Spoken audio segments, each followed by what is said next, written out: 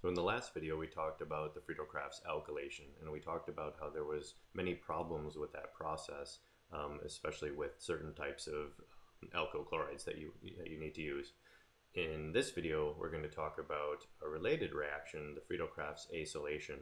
Um, now, there's a lot of similarities, um, but this is sort of the more well-behaved cousin of the Friedel-Crafts alkylation. In this case, what we're doing is reacting an aromatic with uh, what's called an acid chloride. Right, so this is a, a carbonyl, carbon-oxygen double bond um, with a chloride substituent. This is a very reactive species. Um, we still do need to uh, activate it with a catalyst, and again, we're going to use aluminum trichloride. And what that will do is install this group, an acyl group, acyl group, onto the aromatic ring. Okay, and so this actually turns out to be, in general, a very good process. So let's talk about how this happens.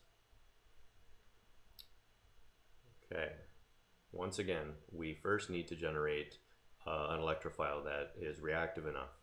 So in this case, we will start off with our acid chloride, and I will put in the lone pairs on the chloride. Okay, so here is our Lewis acid again, our aluminum trichloride, and that is going to bind to the chloride.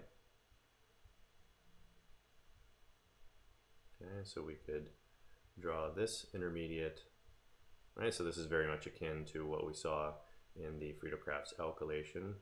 So put in my formal charges.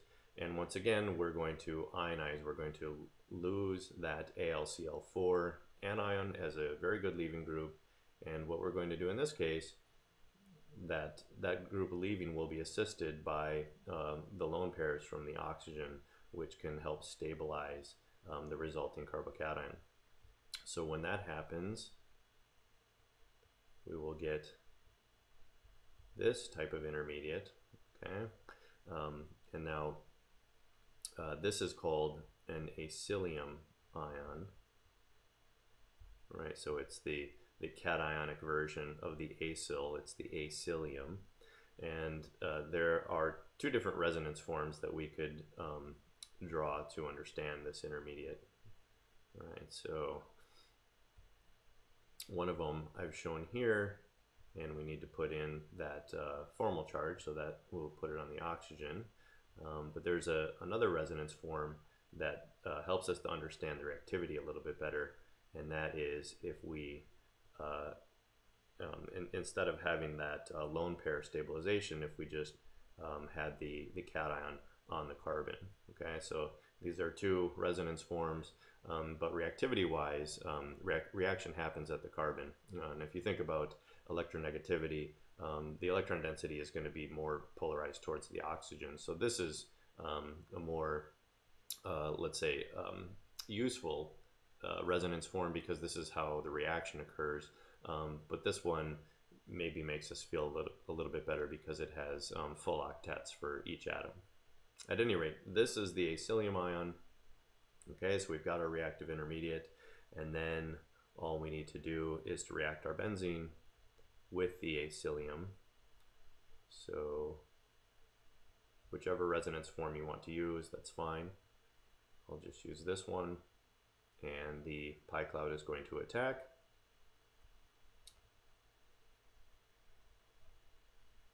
which will lead us to this intermediate. Okay, so there's our acyl group.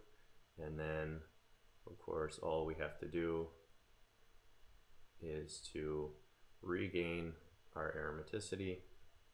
And uh, let me just do it down here.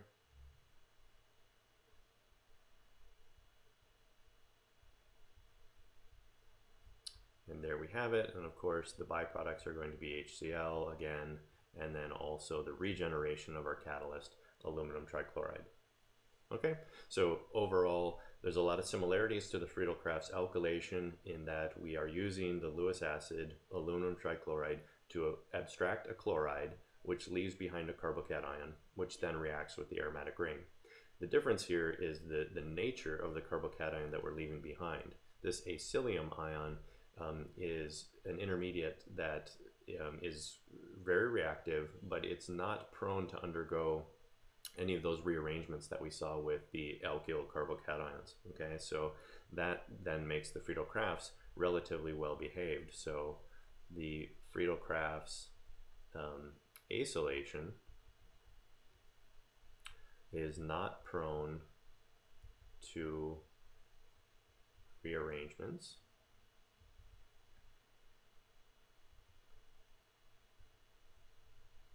Cationic intermediates. Sorry. Cationic intermediates. Okay. Um, and remember the other problem with the uh, Friedel-Crafts alkylation is that um, the product was more reactive than the starting material, and so you had this problem with over-alkylation. In the case of acylation, the acyl group is an electron withdrawing group, um, and as we'll learn about in, in the next um, video, um, that is actually a deactivating group. So the product in this case is less reactive than the starting material, and you will not see any um, over acylation, right? So not subject to over acylation. Okay, so that's what you want because if you want to add a single acyl group, um, you just want to add it. You don't have to worry about um, overdoing it. So you can you can add an excess of, of the acid chloride if you need to push the reaction. Um, you can heat it up to force it to go, and and there's no worry of it uh, uh, acylating twice. Okay. Now, there is um, a very useful thing that we can do with these products. Um, there are many uses and they're useful in their own right. Um, but one thing that we can do is to use these acylation products, which are which are very easy to get to, um, and actually access the Friedel-Crafts alkylation products. Okay, so let me show you how that works. What we're going to do is to uh, first do our Friedel-Crafts acylation to install our acyl group. And again, R can be almost anything we want. Um, you can just imagine that, that, just about anything that you might want uh, could be there. Right, so we can install that as this acyl group. And then what we can do is actually reduce the the carbonyl off, right? So we can just we can just reduce it off. Um, and the one way one way to do that is with uh, just hydrogenation conditions. Now that doesn't generally work for carbonyls, but it does work for um, these benzylic benzylic ketones. Okay, uh, th those can be reduced uh, under hydrogenation conditions, and if we do that, then what we're going to have is this type of product, which you can then see is the um, product that we uh, were trying to get to with the Friedel-Crafts alkylation, right? But remember, this would require a primary carbocation, um, which doesn't work with the alkylation. We can do a two-step process with the acylation, acylate and reduce, and get to that product in a much cleaner um, and more appropriate way. Okay, so that's one of the reasons that the Friedel-Crafts uh, acylation is uh, such a good process. Um, as always, there are some limitations though, uh, and I just want to point out uh, where you do have to be careful. So if we were trying to do a Friedel-Crafts acylation on our old friend aniline here, so remember we talked about aniline, this is a benzene ring with a, an amino group on it, so an NH2. Um, this actually isn't going to work because this is a, a, reaction that we will talk about um, when we get into um, a later section in the in the semester. Um, but what can happen here is that the um, aniline nitrogen can actually react with the acid chloride.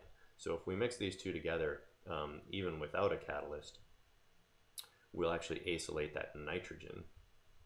Okay, so we will get to this product, and then that that uh, acid chloride is no longer available to uh, form the acylium. So instead of acylating the ring, um, you're actually just going to acylate the nitrogen. And the same thing would go for phenols. Right, so there's there's phenol, um, same thing, react with an acid chloride. Um, again, the, the oxygen of the, of the phenol can react with the acid chloride. And so instead of acylating the ring,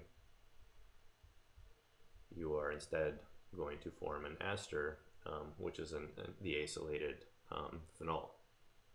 Okay, now uh, all is not lost, right? So that's what happens with the first equivalent, but if you were to throw in a second equivalent of the acid chloride, so second equivalent, um, then you these these two intermediates just bring this down for you again. These uh, sorry these two products um, are now uh, protected on those uh, heteroatoms and so those are no longer reactive and now uh, the aromatic ring is available to go so now you could actually access for example you could get to this Friedel-Crafts acylation product. So, so the first one goes on the nitrogen, and now the second one is available to go on the aromatic ring. And by the same token, uh, with the, the phenolic compound, the first one goes to the oxygen, and then the second one goes to the aromatic ring. So if we're going to do Friedel-Crafts on these species, we one have to recognize that we're going to do a chemical transformation on the heteroatom, um, and two, we have to recognize that we have to explicitly um, add two equivalents of the acid chloride if we also want reaction on the aromatic ring. All right, so that's the Friedel-Crafts acylation.